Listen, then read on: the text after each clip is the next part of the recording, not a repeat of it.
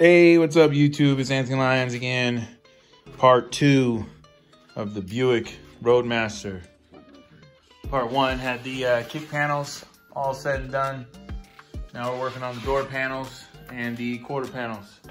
Quarter panel is gonna have some subwoofers, or should I say mid-range speakers in the back. There's gonna be a subwoofer in the trunk. So, as we work on these doors, I've never actually built custom door panels. This is the first time for everything. I know there's probably a million different ways of doing it. Um, there's a lot of curves to this vehicle. There's a lot of lines, curved lines. So I'm gonna attempt to fiberglass this shape. Might come out okay, might not. We'll see what happens. Again, thanks Todd. Todd is the uh, owner and uh, allowed me to work on this car. So Stay tuned for pictures and video of footage of this build and let's see how she comes out.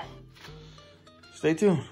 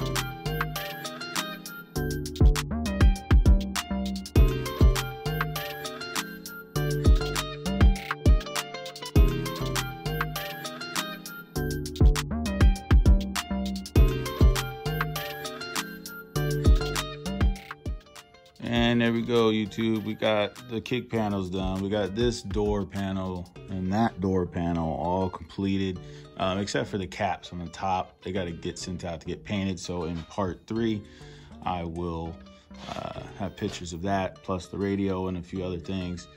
Um, those are the 8-inch mid-bass drivers I was talking about. They're installed along with the tweeter. Same on the other side here. Came out real good. So, uh, yeah, first time came out okay. Um, learned a lot of things, but uh, we're gonna move on to the radio and all the other goodies for part three. So stay tuned for the finale. It'll be a good one, and we'll hear what this baby sounds like. Stay tuned.